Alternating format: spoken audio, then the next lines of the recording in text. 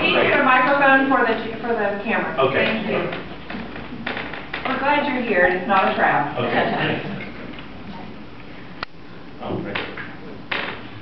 Um, I agree with Sarah. Uh, I've been with the county for four years, and I think one of the main uh, things that I see when I first came on board was the communication with all of our partners throughout the county, talking to each other. There's a lot of people doing a lot of good things, but they don't, they don't all seem to come together. I think we've moved in a forward direction, uh, hopefully Sarah and our partners agree, over the last four years. Our county makes referrals to agencies like the Center for Women, or the Center Now, and uh, Sarah's agency. We both have grants that serve similar needs. Um, With the county's budgetary restraints, I guess would be the appropriate term over the last four years, it is difficult to channel funding to organizations like this. Uh, Commissioner Beckner does have an initiative on the table with some funding uh, specifically targeted for veterans. Those specific needs or direction has not been identified yet. Uh, We're working on that over this uh, next fiscal year. Maybe some opportunities, I don't know. I want to speak on his behalf.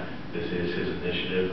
Um, We're going to, our, our goal is to continuously seek out federal funding, because if you think about it, you know, we believe it's the federal responsibility to take care of our veterans when they come back, and our county organizations are not funded, and by the way, they're not mandated by the state. We have the luxury of our Board of County Commissioners supporting us and our county administrator, but by no means are they mandated. So uh, I think we're very blessed in that aspect to have 67 counties that represent all of our veterans, whether male or females.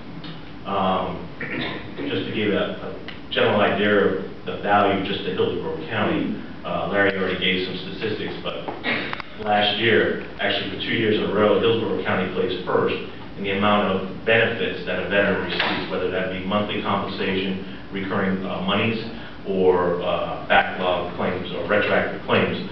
$300 million comes into this county last year from our veterans, all male and females. So I think that just shows significantly uh, the need and the contributions that our veterans uh, contribute to Hillsborough County.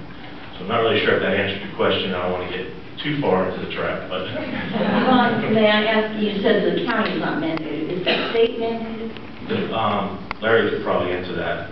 The state has, we have an obligation for veteran services. We have benefits, and I'm going to forward the package to the chairwoman here. Um, But the state has specific legislative functions that we have to provide for the veterans. And I want to tag on to what Frank said, $300 million is spent here in Hillsborough County. So those are indirect monies that your county is getting that is spent